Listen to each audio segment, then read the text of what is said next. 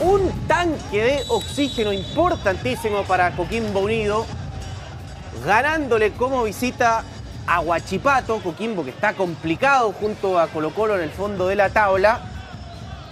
Aquí hay un gol eh, eh, bien ejecutado, pero Martínez estaba en posición de adelanto. Aquí lo vamos a ver bien, ahí ya está completamente adelantado.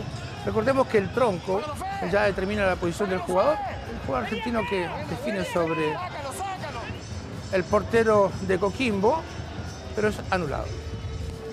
Hay algunas modificaciones en eh, Coquimbo Unido, entraron algunos jugadores con, con mayor frescura, no había sumado tantos minutos como titular Lautaro Palacios que remataba.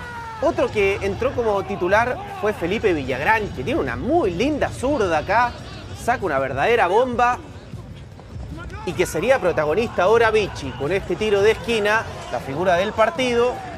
Va a pifiar Sánchez Sotelo y va a aparecer detrás de todos Lautaro Palacios para darle el 1 a 0 a Coquín. Si Lautaro comete su primer gol en primera división, eh, digamos que si falla el primer hombre del palo, todo se complica porque la pelota empieza a tener tierra de nadie. Y es eh, la apertura del marcador de un Coquimbo que necesitaba puntos y también eh, necesitaba el aire físico de los jugadores. Bueno, esta imagen fue muy curiosa. La lesión del juez de línea, Luis Jarpa, que sufrió un tirón.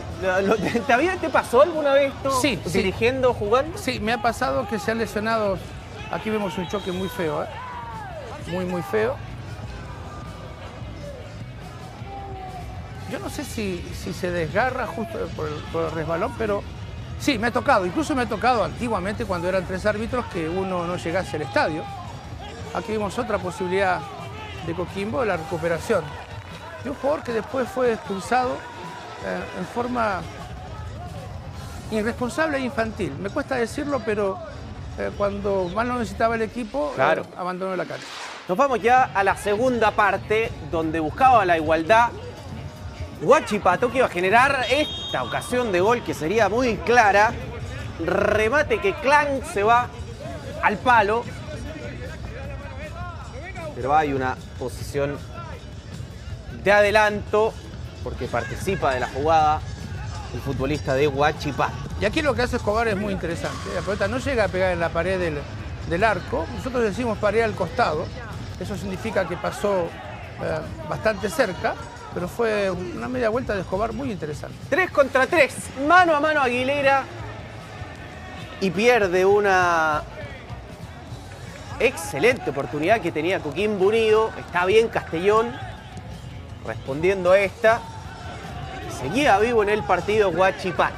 De aquí viene la expulsión eh, de un jugador eh, bastante experimentado, ¿no? Él alega que solamente puso el brazo para ganar la posición, pero en la repetición, vamos a ver, aquí mire, que eh, mete su codo derecho sobre el rostro del jugador de Palestino, se va expulsado. Una pena porque es un jugador eh, polifuncional que lo hace muy bien y eh, Coquimbo que tenía al menos respiros físicos, ¿no?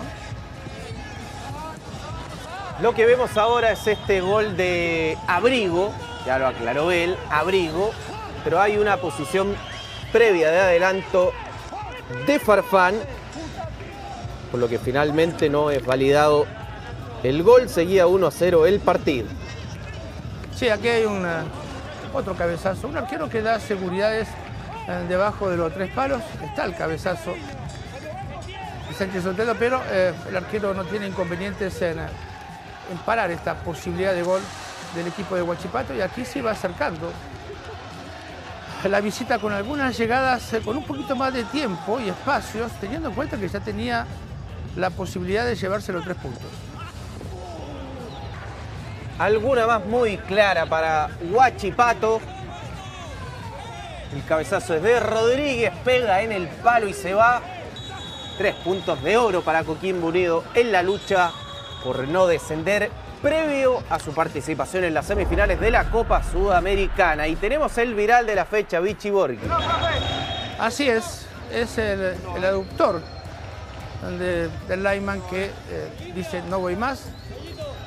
Entra la asistencia, está confirmando la lesión del aductor, pero ya cuando un deportista se lleva la mano al aductor significa que no va más. Este se convirtió en el viral de la fecha.